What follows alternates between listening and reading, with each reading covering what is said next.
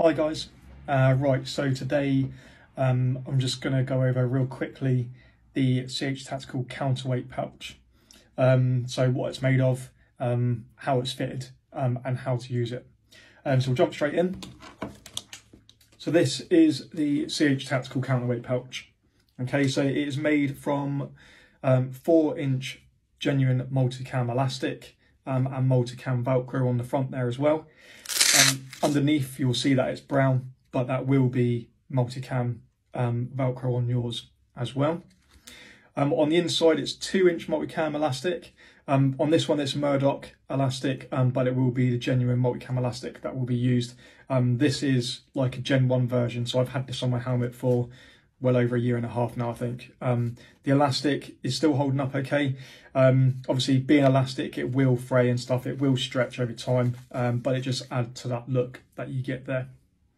Um, so that's what it's made of out of the, on the actual pouch itself.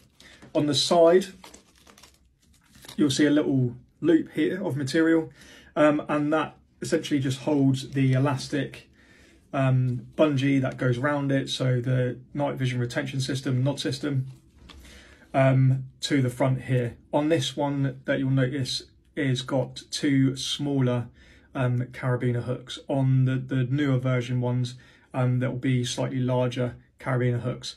Um, they can fit then onto the actual Rhino mount um, for the PVS 14. Um, and also it will obviously work with the new PVS 31 as well.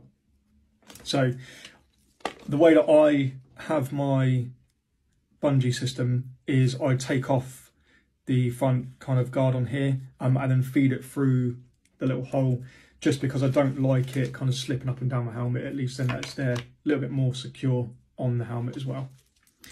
Um, I also have a cat's eyes band um, that runs around and underneath it. Um, you don't need to have this. It doesn't need to be on there to secure the pouch or anything. I just like to have it as a backup. So if anything was to Velcro one was to come off there, then it's um it, at least I can then just put it over the top of the pouch and then I've got cat's eyes on there. Um, so the Velcro bit obviously is for badges, cat's eyes, etc. Um, so the, these can just be added on. Um, so nice and easily, nice and simply, just put on there. On the back here as well, there's two loops of elastic. Um, so these loops of elastic essentially are there to hold Cyalumes. Um, so if you're out in a live range, um, you need a blue Cyalume or you need an IR Cyalume for anything, um, you know, then that can be attached to there as well. So it can be put in for there nice and easily. The way to put the weights into the pouch, all they do is literally just slip in behind the elastic, okay, like so. The design of the pouch is elastic for the reasons of that it can fit any weights that you have. So if you don't have the issued counterweight plates, then you can use um, aftermarket counterweights um, and it should even hold the batteries um, for the new PVS 31s as well. Um, so that can go in there.